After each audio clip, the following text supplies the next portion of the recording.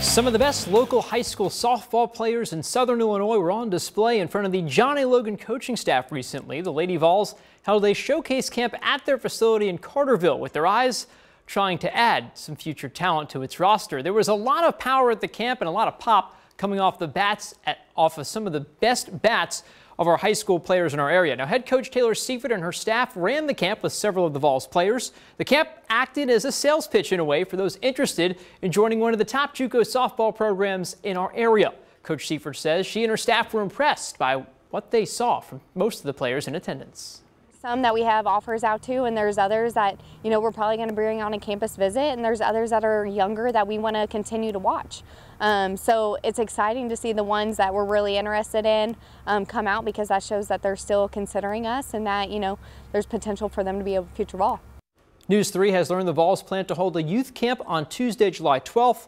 We'll pass along more info on that camp once we learn more.